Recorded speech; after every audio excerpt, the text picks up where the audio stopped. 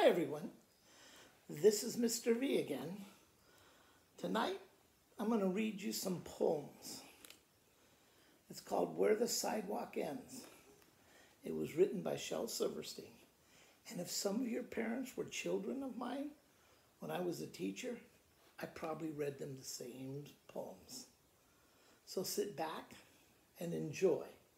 And I hope that everyone is doing fine out there in our distance learning. But this gives me a chance to do some fun things. So sit down and enjoy a few poems by Shel Silverstein. The book is called Where the Sidewalk Ends.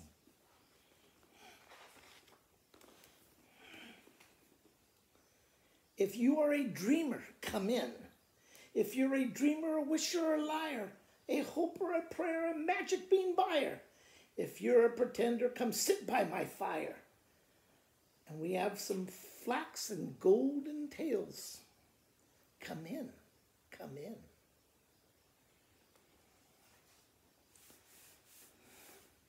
The first poem is called The Loser. Mama said I'd lose my head if it wasn't fasting on. Today, I guess it wasn't, because while I was playing with my cousin, it fell off and rolled away. And now it's gone. I can't look for it because my eyes are in it. Can't call to it because my mouth is in it. On it. Couldn't hear me anyway because my ears are on it. Can't even think about it because my brain is on it. So I guess I'm going to sit down on this rock and wait a minute. Maybe I can find it.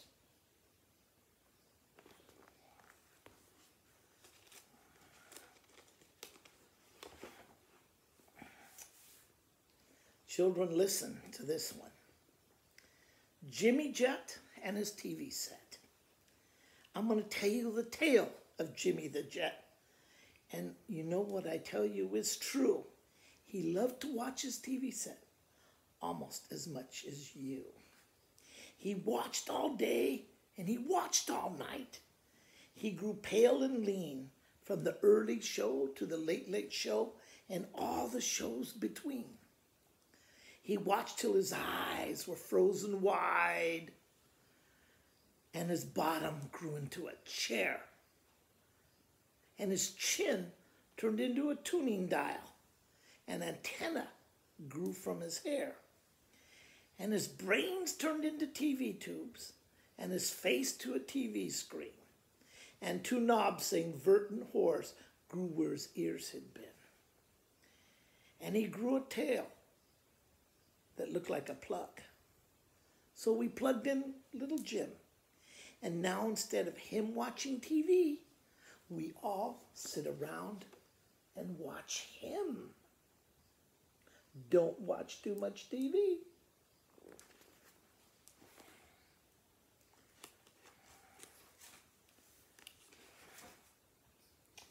This one I need your help on, children, because this has animal animal talking in it. So, whenever I when I say the owl asked, you all say who. When the horse talks, say neigh. When the bird says, say cheep. When the dog says, say bow. And when the sheep says, say baa. So you got to remember that because I'm going to come to your spot. Here we go. The farmer and the queen. She's coming, the farmer said to the owl. And what, what, what, what shall I do? Shall I bow when she comes? Shall I twiddle my thumbs? The owl asked. Hmm. The queen, the queen, the royal queen, shall pass the farm today. Shall I salute? He asked the horse. The horse said, Nay. Shall I give her a gift? He asked the wren. The lovely little bird, shall I have it to her keep? An egg or a peach or an ear of corn? The bird said, Cheap. But should I curtsy or should I cheer? Oh, there's a carriage now. Oh, what should I do? What should I do? He asked the dog. The dog said, Bow. And on that he did, and so she passed. And oh, tra la la, she smiled and she did. He told the sheep. The sheep said, Bah! Thank you for your help.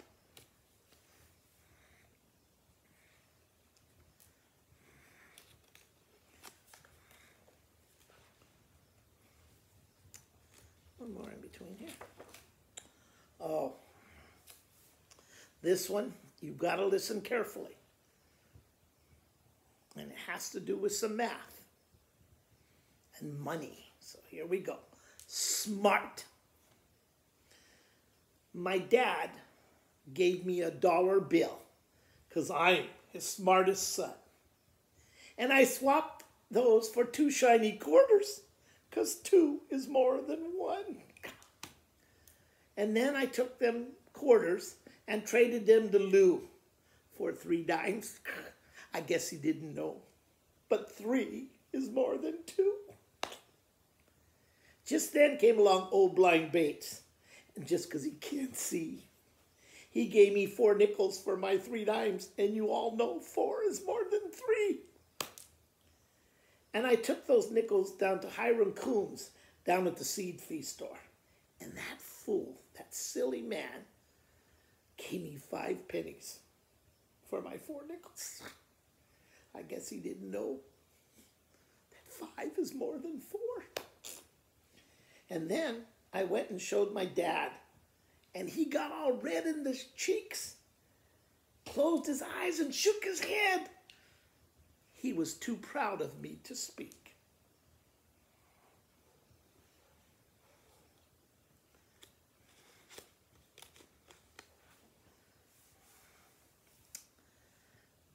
If I were one inch tall,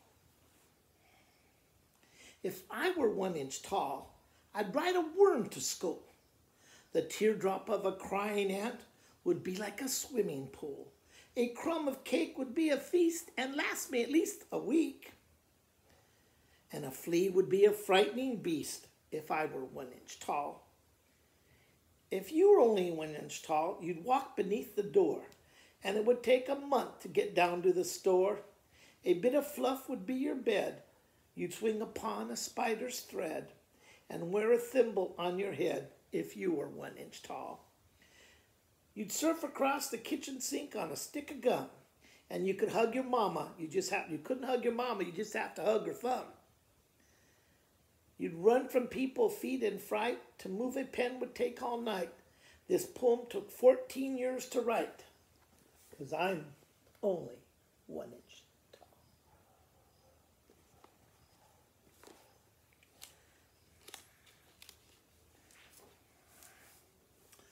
Okay. This poem is called Sick, and it's kind of having to do when we were going to school every day. So here it is. It's called Sick. And you can see the girl in the back. Here we go. I cannot go to school today, said Peggy Ann McKay. I have the measles and the mumps, a gash, a rash, and purple bumps, and my mouth is so dry, my throat is dry, I'm going to be blind in my right eye. My toenail, my, my what, what? My tonsils are as big as rocks. I've counted 16 chicken pox, and there's one more, that's 17. And don't you think my face looks green? My leg is cut, my eyes are blue, I might have instamatic flu. I cough and sneeze and gasp and choke, I'm sure my left leg is broke. My hip hurts when I move my chin, my belly button's caving in. My back is wrenched, my ankle sprained, my appendix pains each time it rains. My nose is cold, my toes are numb. I have a sliver in my thumb. My neck is stiff, my voice is weak. I hardly whisper when I speak. My tongue is pilling up in my mouth. I think my hair is falling out. My elbows bent, my spine ain't straight. My temperature is 108. My brain is shrunk, I cannot hear. There's a hole inside my ear. I have a hangnail in my heart. Oh, oh, what? What? What's that you say? What? Today is Saturday? Goodbye. I'm going out to play.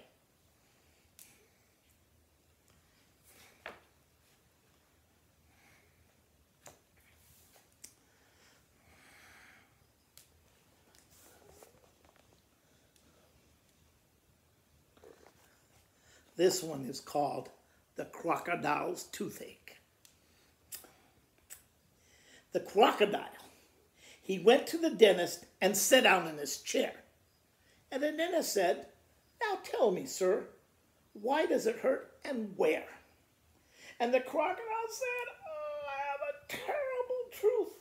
I have a toothache in my mouth. And he opened his jaw so wide, so wide that the dentist crawled right inside. And the dentist laughed, Oh, isn't this fun? As he pulled out teeth one by one. And the crocodile cried, You're hurting me so. Please put down your pliers and let me go. And the dentist just laughed with a ho, ho, ho. And he said, I still have 12 to go. Oops, that's the wrong one, I confess. But what's one crocodile tooth more or less? And then suddenly the jaws went snap. And the dentist was gone right off the map. To east, west, north, south, he left no forwarding address. But what's one dentist more or less?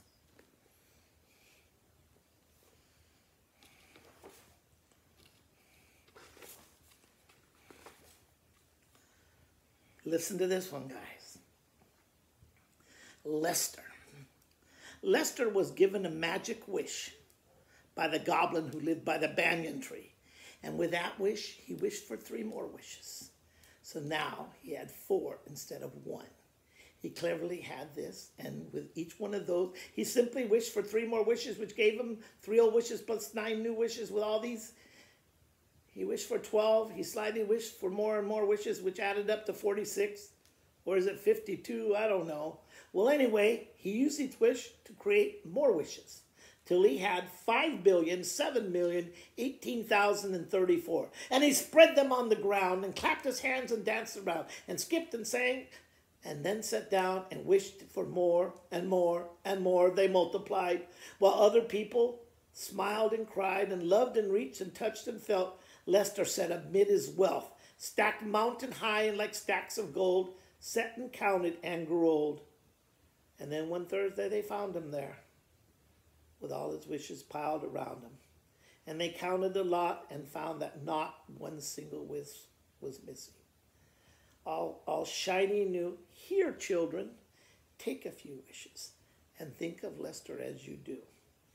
In a world of apples, kisses, and shoes, he wasted all his wishes on wishing.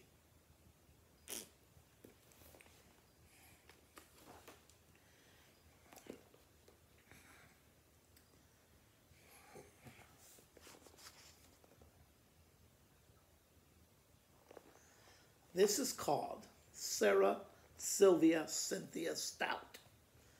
Would not take the garbage out. Sarah Sylvia Stout, Stout would not take the garbage out. She'd scour the pots and scrape the pans, candy the yams and spice the hams. And though her daddy would scream and shout, she simply would not take the garbage out. So it piled up to the ceilings coffee grounds, potato peelings, brown bananas, rotten peas, crumbs of sour cottage cheese. It filled the can, it covered the floor. It cracked the windows and blocked the door. With bacon rinds and chicken bones, drippy ends of ice cream cones prune pits, peach, pitch, orange peels, gloppy glumps of cold oatmeal, pizza crust, withered green, soggy beans and tangerines, crust of blackburn butter toast, gusty bits of beefy roast. The garbage rolled on down the hill. It raised the roof. It broke the wall. Greasy napkins, cookie crumbs, globs of gooey bubble gum, cellophane from green bologna, rubbery blubbery macaroni, peanut butter caked in dry curdled milk and of pie, moldy melons, dried up mustard, eggshells mixed with lemon custard, cold French fries, and rotten meat, yellow clumps of cream of wheat. At last the garbage reached so high that it finally touched the sky, and all the neighbors moved away, and none of her friends would come to play.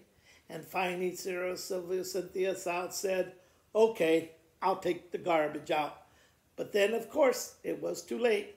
The garbage reached across the state from New York to the Golden Gate, and there in the garbage, poor Sarah met an awful fate that I cannot now relate. But children remember Sarah Sylvia Cynthia Stout and always, always take the garbage out.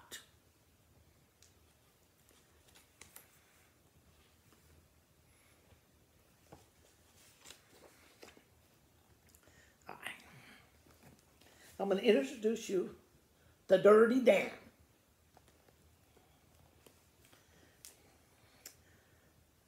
The dirtiest man in the world. Oh, I'm Dirty Dan, the world's dirtiest man. I've never taken a shower. I can't see my shirt, it's so covered with dirt, and my ears have enough to grow flowers. But the water is either too hot or it's a little too cold. I'm musty and dusty and patchy and scratchy. I'm mungy and covered with mold. But the water is always a little too hot or it's a little too cold. I live in a pen with five hogs and a hen and three squizzly lizards who creep in. My bed and they itch as I squirm and I twitch in the cruddy old sheets that I sleep in.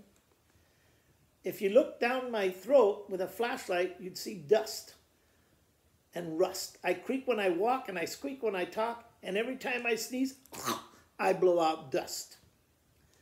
The thought of a towel and some soap makes me howl, and when the people have something to tell me, they don't come and tell me, they stand back and yell it. I think they're afraid they might smell me.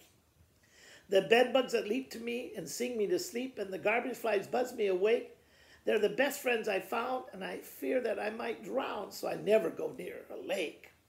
Each evening at nine, I sit down and dine with the termites who live in my chair, and I joke with bats and have intimate chats with the cooties who crawl through my hair. I'd brighten my life if I just found one wife, and I fear that would never be until I can find a girl, gentle and kind, with a beautiful face and sensitive mind, who sparkles and twinkles and glistens and shines, but who's almost as dirty as me.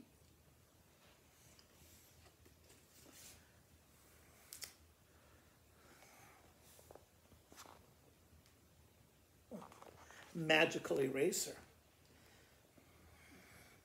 She wouldn't believe this pencil has a magical eraser. She said I was a silly moo. She said I was a liar too. She dared me to prove that it was true. So what else could I do? I erased her.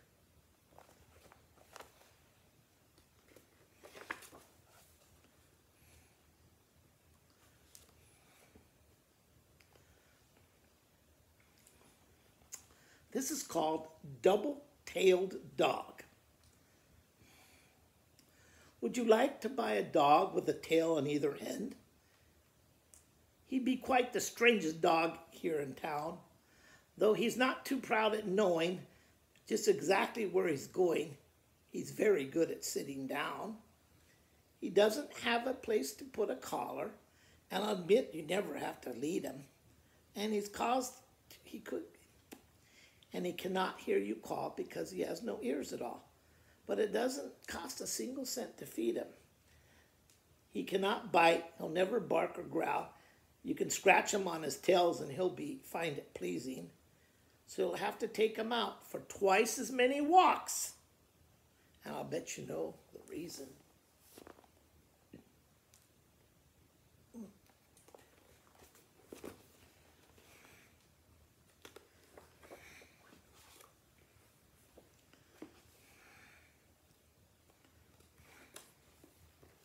This one is called Hungry Mungry.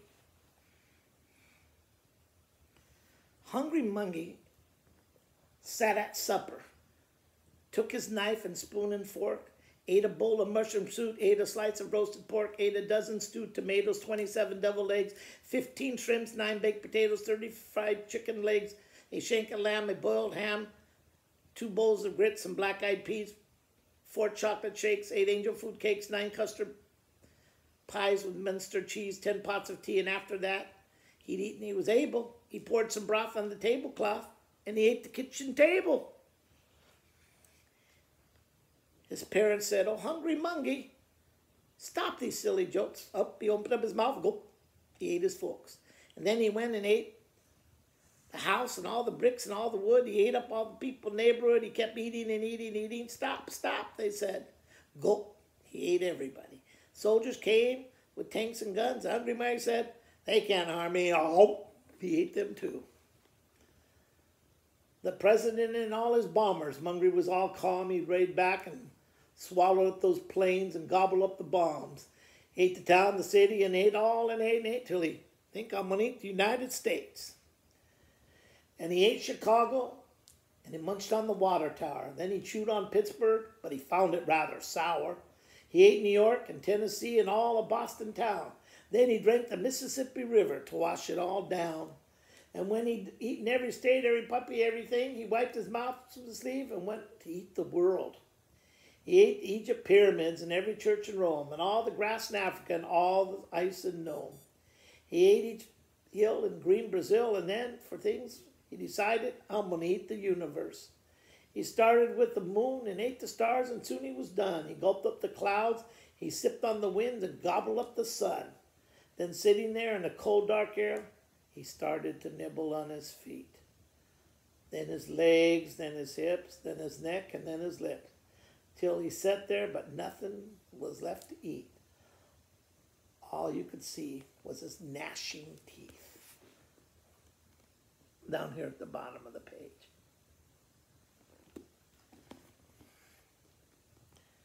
And I hope you've enjoyed my little reading of poems. And I wait till I see you next time. Thank you for listening and have a wonderful rest of the week.